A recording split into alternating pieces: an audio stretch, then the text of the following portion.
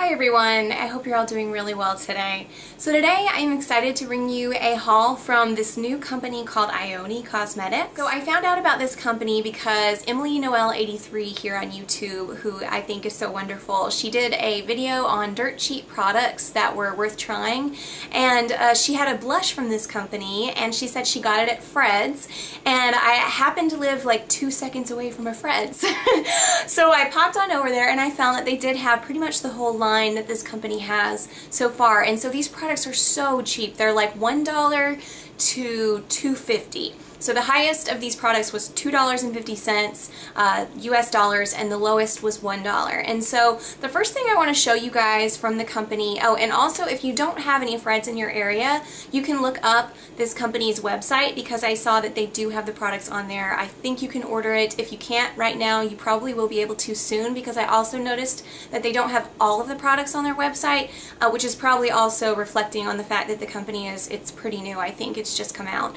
So um, also also, all of these products are made in the United States and uh, as far as I can tell, they don't have any really, really horrible ingredients more than you would find in other drugstore products. I kind of looked at the um, ingredient lists and everything and I didn't see anything that stood out to me as like worse than what they normally put in drugstore products. So, so the first product that I want to show you guys are the lip glosses. And I think they had five or six different shades at my Fred's, but um, I picked up four of them. And so the first one, uh, all four of them, they look like this in the container. And so even though they're, these are actually $1 a piece, um, they actually look pretty sleek. So I mean, they don't look like they have cheap packaging. It says lip gloss in kind of like trendy print right there and then it says Ioni Cosmetics on the other side. And so um, the first one that I want to show you guys is called Cappuccino and holy cow, this is like one of my new favorite lip glosses. I can't believe that it's a dollar. So um, it looks like it's a nude color actually in the container and when you look at it in the store it's going to look really light but when you actually swatch it Look at that. It's got, it's, it's almost like a liquid lipstick. It's just got so much pigmentation. Um, it's just completely, it's gorgeous. And when you put it on the lips, I love how it looks on the lips. This is the kind of formula that I love. Um, so it's just, it's, to describe it, it is sticky. Like if you don't like lip glosses that are sticky at all, you probably won't like it. But it's not super sticky. It's almost like more I don't know, like waxy where it will stay for a long time. And it, this particular shade, it just makes your lips look so smooth and beautiful. And I can't believe, this is, I mean, if I hadn't just done like the dirt cheap products video that I did with the really cheap products, I this one would have made it into that video definitely. This is amazing. So then um, the uh, I picked up several other ones and I hoped that they would be the same. Uh, the next one that I picked up, it's this shade called Razzle. And this one is actually, it's a really nice lip gloss gloss. It's just not pigmented like the other one. So if you see, this one is just like completely like opaque and then this one is more when it goes on my lips almost like clear but it does have a little bit of color like if I put like maybe three coats on it does like kind of a nice um, light pink color but it's not got a lot of pigmentation once you put it on. Then the next one I got is called Fanciful, and it looks like a bright fuchsia, and this one also, when I put it on the back of my hand, it's the same kind of type of gloss as this one right here, where it doesn't have as much pigmentation, but as you can see, it still is pretty bright. It's not opaque like a liquid lipstick like Cappuccino, but it still is got, a, it still has a lot of color. And um, by the way, cappuccino doesn't really have any kind of smell or flavor. Um, Fanciful, the bright one I just showed you, it doesn't have any smell or flavor either. And then um, Razzle, I think I've worn it a couple times, and it has a really slight smell. It, it doesn't have a flavor, but it has a really slight, like lip glossy, kind of sweet sort of a smell. It's not like super nice, but it's not bad at all either. And then um, the last one that I picked up is called Cinema and it looks like a bright red and this is another one that goes on like a liquid lipstick. It is just like holy cow. It's it's also opaque and it is just bright red. I can't believe for a dollar that you can get a product this nice for a dollar.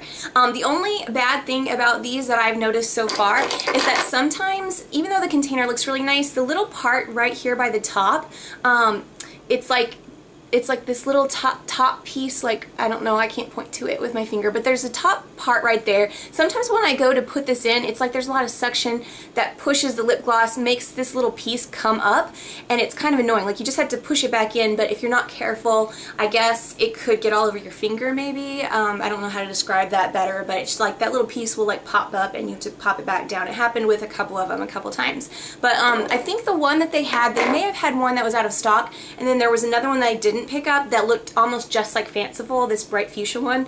Uh, and so I didn't get it because it looked like it was basically the same shade and I was confused as to why there were both of them. I wonder if that one is more of like a liquid lipstick than this one. I'm curious. I've got to go back and pick it up. But anyway, I just can't believe I am over the moon uh, about those for the price, a dollar. Insane. You should pick them up definitely if you guys have a Fred's uh, around where you live. And then the next thing I want to show you guys are the blushes, which again are amazing. Um, they, I think, had four shades. One of them they were out of price. The blushes were $2.50, so less than like a Wet n Wild blush. They have, they come in a pretty nice little package. It uh, reminds me of like the MAC blushes, like when they come in a little thing. But um, anyway, it says Ioni right there, and then on the back it has the uh, color, and as you can see, Orgasmic is a dupe for guess what? NARS Orgasm.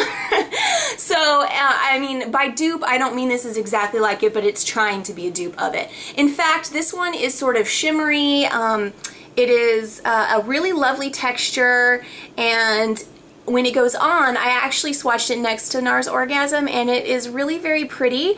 It has the gold shimmer, you know, it's like a peachy pink with a, a gold shimmer, um, but the gold shimmer is less in this and I like that actually better than NARS Orgasm. I am not one who is like a giant fan of NARS Orgasm. I have it and I like it. I think it's pretty, but it's not my favorite blush. I actually like this one better. So um, anyway, that's really gorgeous for 250 Another color is more of a mauve color called Miss Bliss. And this one is more matte, but it is not matte. Um, it's not powdery like the Wet n Wild ones. It's more like the MAC ones. Um, it's just a really nice uh, really nice like mauve type color and you can build it up to become a lot more pigmented than what it looks like right here. And then the next one is really quite bright. It is called Ecstasy and it is like a really bright very warm peach pink color.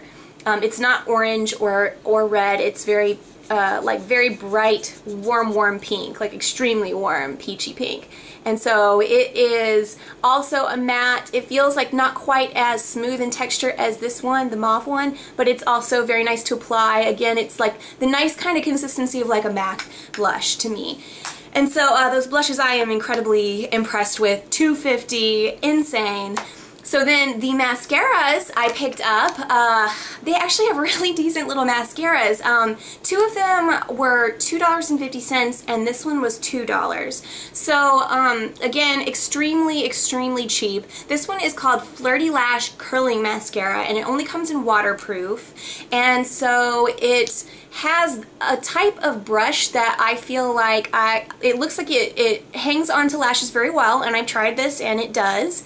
The consistency is rather thick which is usually the type of consistency I like um, for a, a mascara but I find that I don't know like it works okay. I don't think it's really amazing to me yet. I'm going to keep using it for maybe another week or so because sometimes they, you know, the formula will sort of change over a week after it's sort of been exposed to the air and like Voluminous um, by uh, L'Oreal is one that does that to me. I feel like when I first start to use it, it's a little too thin or something and, and it just seems to equalize after like two, two weeks, a week or two of using it and then it becomes like an amazing one. So it does get a little clumpy. You have to sort of like get it off right here, but I mean, that's not unlike a lot of other mascaras. So for 250 I think it's definitely decent. Um, and especially if you're looking for, like if you already have a good amount of volume in your lashes, this is a pretty decent mascara and it is waterproof.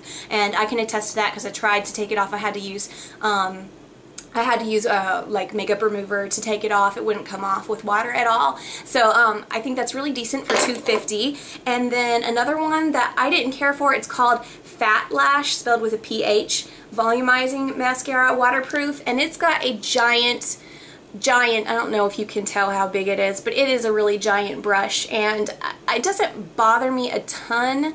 It's actually the size, Urban Decay has one that's about this size. It's a really, really big brush as well. Um, just fat. It's like a really fat brush. And it says it's a volumizing mascara and it to me, I like volumizing mascaras to have a thicker formula. This is a pretty thin formula for a volumizing mascara, but if you're looking for a decent waterproof mascara that will not clump, because I tried it, like it would not clump on my lashes um, and is actually more like lengthening than volumizing, this is actually really decent uh, for 250 I mean, you know, it's hard to find mascaras for 250 that are okay. Um, I mean, the Jordana one is, uh, that I love, the volumizing one is $3, so that's pretty close. But um, then the last one was a $2 mascara, and it is called, it just says Ioni, uh, and it says mascara, and I think it was called like Jet Black, Oh, Jet Black is what it's called. It's supposed to be like the blackest black, and it is pretty black. And I put it on my lashes today, and I'll show you, although my lashes kind of really stink right now, so they're probably not a very good. I mean, no matter what I put on them, they don't look that awesome. Um, it, this actually did a pretty decent job for me. Mine are just like all messed up and like broken and, and going out like this way and that way. And that's just kind of like they're in bad shape right now. Like in a, probably a month or two. Every once in a while they get to be like this and in like a month or two they'll, they'll end up being better. But um, uh, cause they, your lashes are constantly like falling out and replenishing themselves. So right now they just kind of look like they stink a little bit.